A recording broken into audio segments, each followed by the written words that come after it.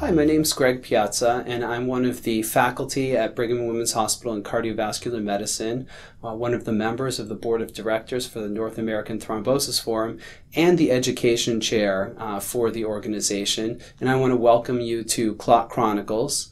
Uh, this morning we're going to be talking about uh, the distinction or lack thereof between provoked and unprovoked venous thromboembolism.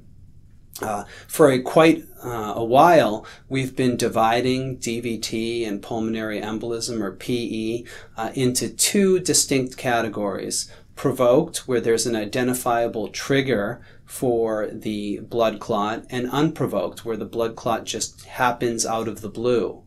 Uh, the problem with that distinction is that uh, it's not black and white, and sometimes it's a very artificial uh, difference between the two. Uh, there are a number of patients who have provoked venous thromboembolism but have risk factors that aren't transient. They're persistent provoking uh, or persistent predisposing factors uh, that increase the patient's risk for DVT and PE even after they get through the initial treatment of a blood clot.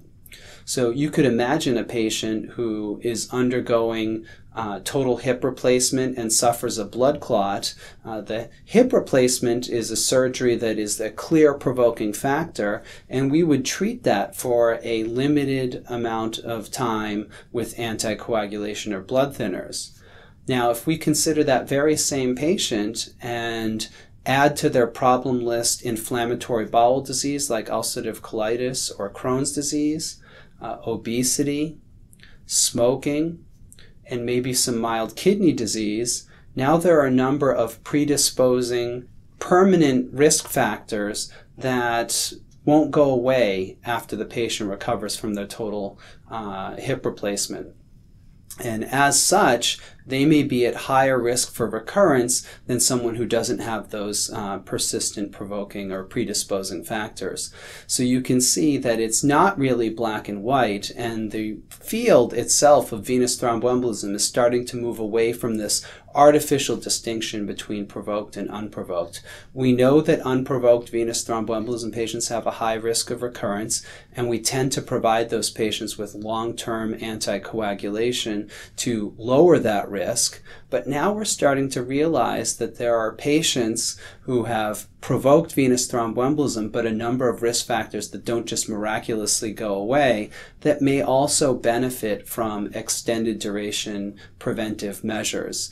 Uh, there was a study called Einstein Choice published a few years ago that actually showed that even in a population of patients with 60% suffering provoked venous thromboembolism, continuing blood uh, for a longer period of time actually was very protective for those patients. So I can envision, and a lot of experts in the field uh, feel that in the future we probably will be considering individual risk factors uh, and other comorbidities in patients rather than just splitting them into two groups of provoked and unprovoked and using the risk profile of the patient on an individual basis to make decisions about how long they should be on blood thinners. So I think what we're moving towards is a more precise type of uh, medicine and treatment for patients with DVT and PE.